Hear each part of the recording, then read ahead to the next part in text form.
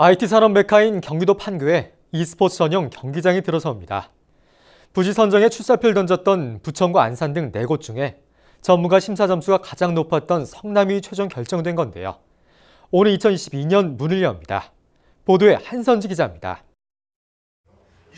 22일 오늘 경기도가 e스포츠 전용 경기장 대상지로 성남 판교를 최종 낙점했습니다. 올 초부터 31개 시군을 대상으로 공모에 들어갔던 돈은 사업 유치에 참여한 성남과 부천, 안산, 용인 4곳 중에 전문가 심사를 통해 선정했습니다.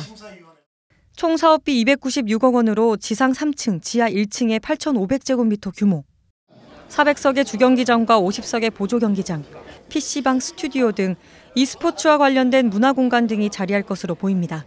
계획된 일정 내에 준공될 수 있도록 하고 준공 후에도 e스포츠 대회 및 e스포츠 육성 관련 사업들을 협력하여 추진하겠습니다.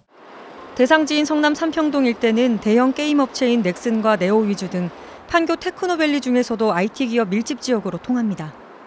도는 e스포츠 대회와 축제는 물론이고 선수 지원 등 관련 인재 육성에도 경기장을 활용할 계획이라고 밝혔습니다. 종주국이라고 하면서도 불구하고 전국 단위로 균형 발전을 할 수 있는 시설 거점들이 많이 부족하기 때문에 그런 측면에서는 시장에 상당히 많이 도움이 될 거라고 생각이 됩니다. e스포츠 전용 경기장은 이르면 내년 하반기 공사에 들어가 오는 2022년에 문을 엽니다. 경기장 조성으로 620억 원의 생산 유발과 300여 명의 일자리 창출 등의 경제 효과가 있을 거라고 돈은 내다봤습니다.